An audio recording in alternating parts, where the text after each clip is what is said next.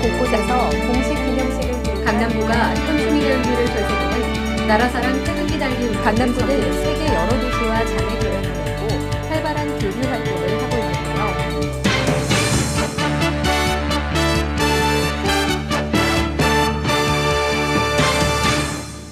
지난주에는 여름방학을 더욱 신나고 특별하게 보낼 수 있는 아이들을 위한 프로그램들이 많이 준비됐었는데요. 뜨거운 여름, 8월 둘째 주 강남에는 어떤 소식들이 준비되는지 함께 보시죠.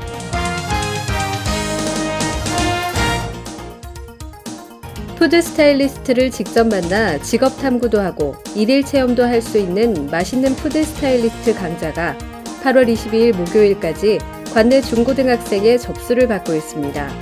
접수는 선착순으로 이루어지며 참가비는 무료입니다. 노년이 문화센터에서 8월 14일까지 찬란한 보석 감정 강의가 열립니다. 수강 신청 및 문의는 노년이 문화센터로 전화주세요. 저소득 가구 아동의 교육기회 결핍 방지를 위한 꿈나래 통장과 저소득 주민의 자립자금을 지원하는 희망플러스 통장에 신청을 받고 있습니다. 접수는 주소지의 각동 주민센터를 이용해 주세요. 결혼 이민자 여성의 취업을 돕기 위해 산모관리 마스터 교육에 참여할 지원자를 모집하고 있습니다.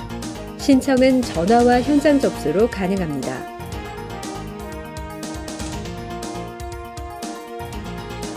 강남구청 주차장에서 자동차 무상 점검을 시행합니다.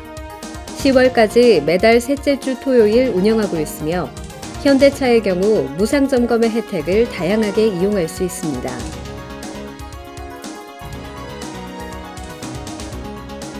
매월 셋째 주 토요일 정다운 도서관에서 성인들을 위한 독서 토론회가 열립니다.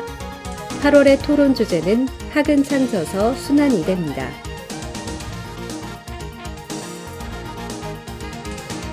자아성장과 대인관계 능력을 증진시킬 수 있는 집단 미술 치료에 관심 있는 청소년을 모집합니다.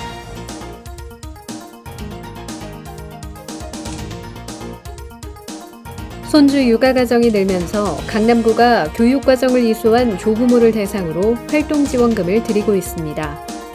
막내가 3개월 이상, 만 15개월 미만인 두 자녀 이상의 맞벌이 가정 조부모님들의 많은 지원 바랍니다.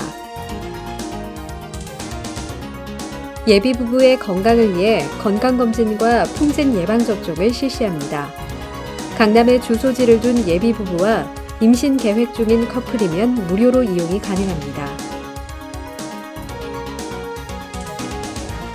경제적, 신체적인 여건 등의 이유로 여가 활동에 제약을 받고 있는 분들에게 국내 여행의 기회를 제공하는 행복누리 여행에서 9월 프로그램 신청자를 모집하고 있습니다. 지금까지 8월 둘째 주 강남구 주간 포스트 만나보셨는데요. 다음 주에도 좋은 정보 들고 다시 찾아뵙겠습니다. 안녕히 계세요.